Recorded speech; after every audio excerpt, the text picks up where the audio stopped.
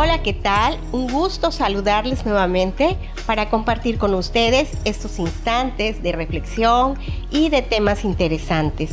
En esta ocasión quiero hablarles de algunos detalles que tienden a fomentar y hacer pues más sólidas las relaciones interpersonales en general y específicamente las relaciones de pareja.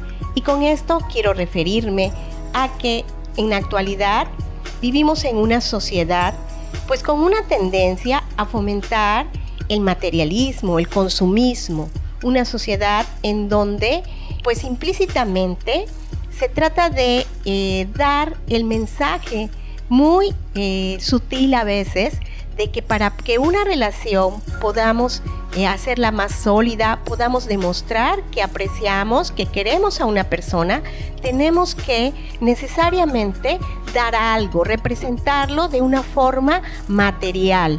Recientemente, por ejemplo, pues se celebró el Día del Amor y la Amistad y se ofrecía un sinfín de, artículos en donde incluso iban acompañados de ciertos eslogan, en donde se decía que, bueno, para demostrar al ser amado adquiere determinado producto.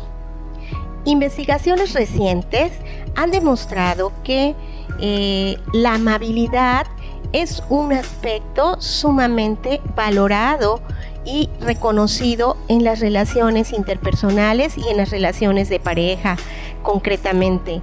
Por ejemplo, aquellos detalles que pueden ser tan cotidianos y tan simples, pero tan significativos como un saludo al iniciar el día, una notita, ¿verdad? Por allí casualmente, el llevar el desayuno a la cama o enviar un café al trabajo, a la pareja, a la familia, son detalles sumamente significativos y valorados. Una palabra de aliento, un ánimo cuando la persona está atravesando por alguna situación compleja. Eh, este tipo de detalles hacen que la persona pueda sentirse reconocida, pueda sentirse eh, atendida y sobre todo ser tratada, que está siendo tratada con esa amabilidad y esa consideración, con esa empatía.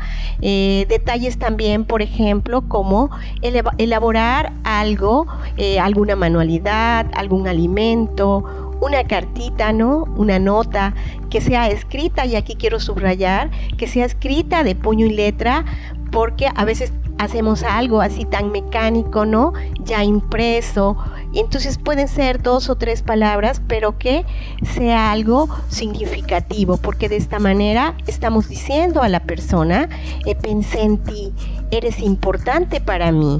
Entonces esos detalles hacen que en el día a día las relaciones interpersonales puedan ser cada vez más sólidas, más significativas, más eh, los miembros en una relación de pareja, por ejemplo, sentirse reconocidos, sentirse eh, que son importantes para la otra persona.